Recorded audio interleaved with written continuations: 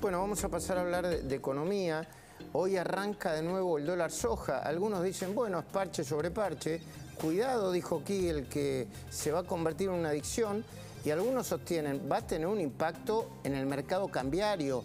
Quizá vaya a provocar una nueva suba del dólar paralelo.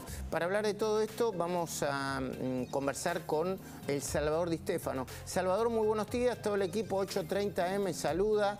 Eh, ¿Qué perspectivas de éxito, entre comillas, tiene este, bueno, todo el mundo lo llama así, este nuevo parche?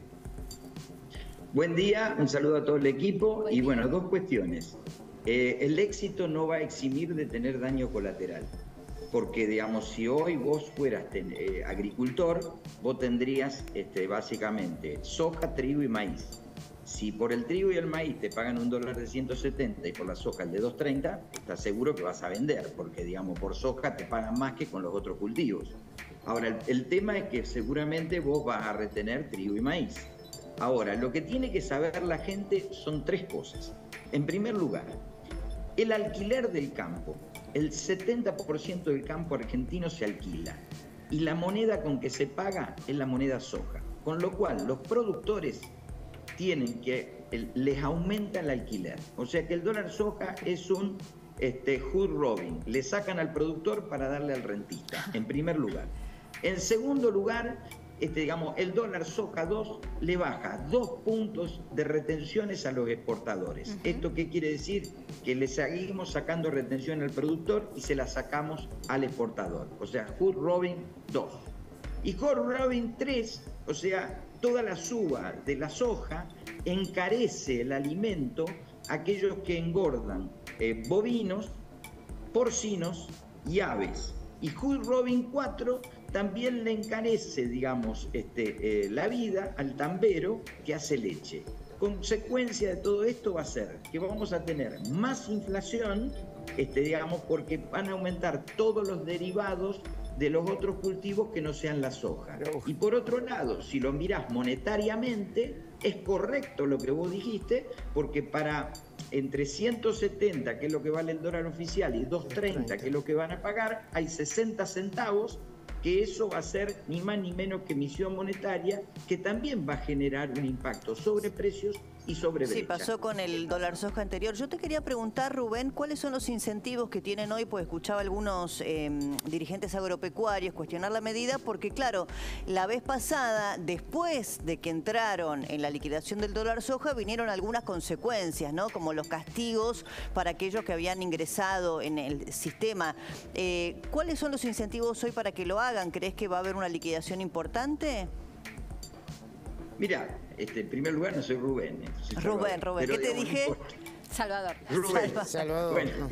Espera, después te tengo que preguntar de fútbol, porque el sábado, yo te quiero decir algo. Hablé con él el sábado, lo que sabe de fútbol, le hizo la formación a Scaloni, no te equivocaste en nada, así que después tenemos que hablar de fútbol.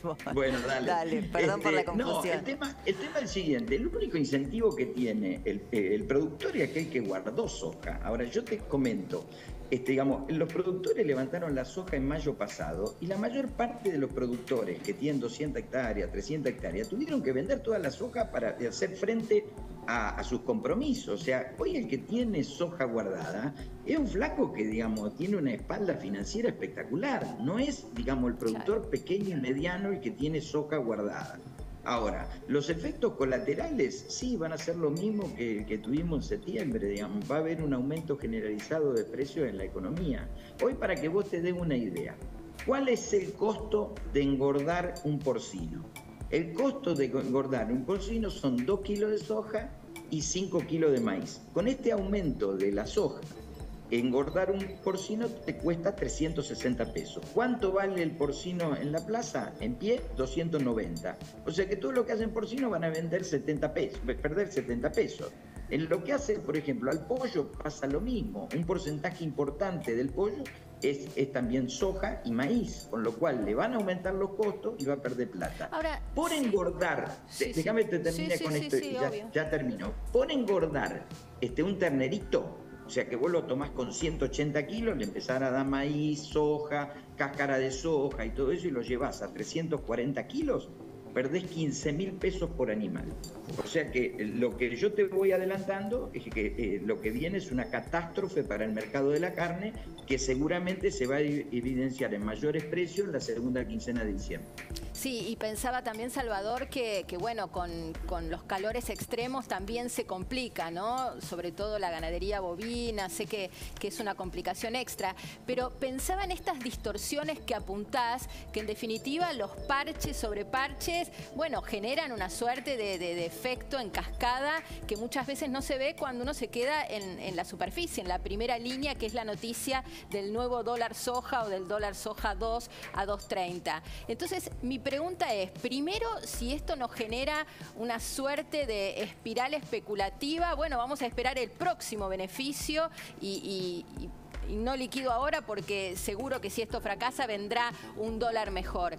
Y, segundo, ¿cómo se sale? Porque lo que vos describís es un desastre.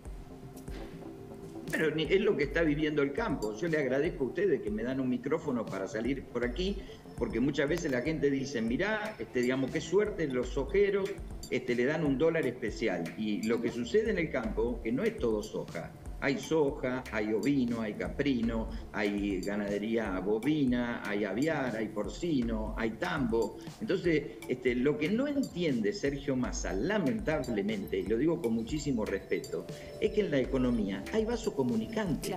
Lo que vos haces en, en, con un precio te va a afectar en, en otro. De otros precios. Exactamente. Y él, él que dice livianamente, como, digamos, él no entiende nada del campo, lo único que, que su visibilidad llega llega hasta el obelisco, dice que, este, digamos, la, el, él puede dar un dólar soja porque la soja se porta y no sabe que la cáscara de soja se usa para el tambo, que se usa soja para este, los pollos, para los cerdos, este, para todo se usa soja también en el mercado doméstico. Entonces este hombre o está mal asesorado o no entiende nada. La información que yo tengo es que lo que es el secretario de Agricultura, está pintado como un cuadro de Quinquela Martí y que, digamos, la gente del Banco Central tampoco fue tenida en cuenta para esta medida. Entonces, ¿qué es lo que yo tengo entendido de la aplicación de esta medida? Que el ministro ve una caída de actividad económica muy grande y necesita recaudar más.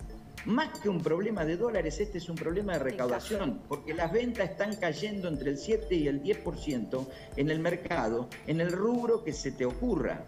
Y preguntarle a un comerciante, a un empresario, y esa caída de venta le está trayendo profundos problemas financieros. Y ese es el problema que tenemos hoy.